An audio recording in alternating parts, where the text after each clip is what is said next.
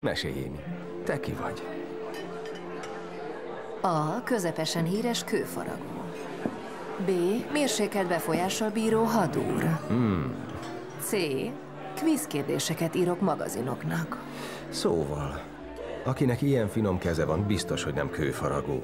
Évek óta a mérsékelt heti hadúr előfizetője vagyok, úgyhogy ismernélek. A C nyert. És te? Te ki vagy? Én vagyok a srác, aki kiment téged ebből a királybuliból.